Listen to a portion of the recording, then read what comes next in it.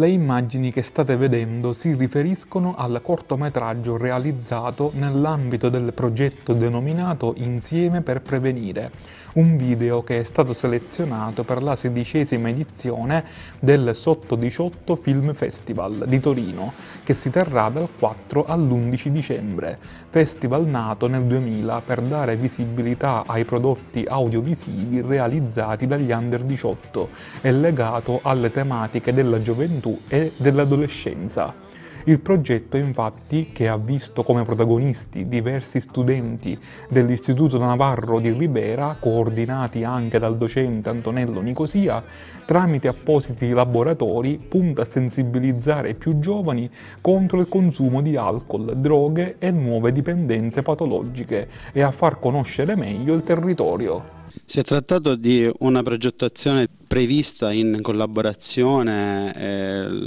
sia la progettualità che l'attività corsuale con il Dipartimento di Farmacologia dell'Università di Palermo. A questo progetto eh, che ha partecipato ha visto attori attivi, ragazzi dell'Istituto Comprensivo Navarro di Ribera, e la cooperativa Arcobaleno, che è una cooperativa di Ribera che ha collaborato alla progettazione e alla realizzazione. Infatti ha mh, chiesto collaborazione al Dipartimento di Psicologia per gli esperti, hanno partecipato a questo progetto i bambini della scuola media di primo e secondo anno e hanno eh, lavorato con gli esperti pedagogisti, psicologi e mh, operatori esperti multimediali.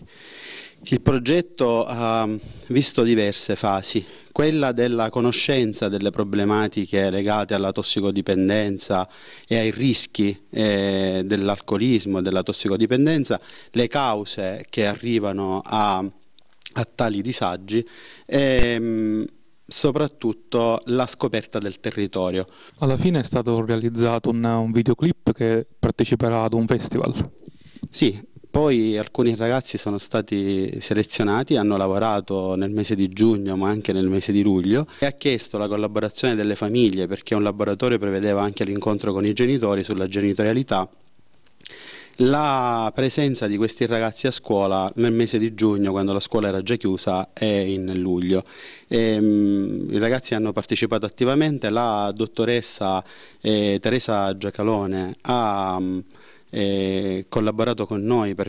è una regista, eh, alla realizzazione di questo cortometraggio. Io e il collega Arrenda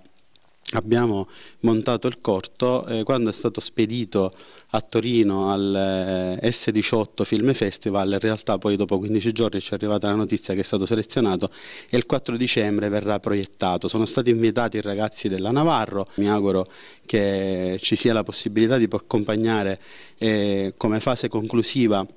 questi bambini, visto che sono stati molto bravi nel partecipare ma anche nel realizzare questo prodotto.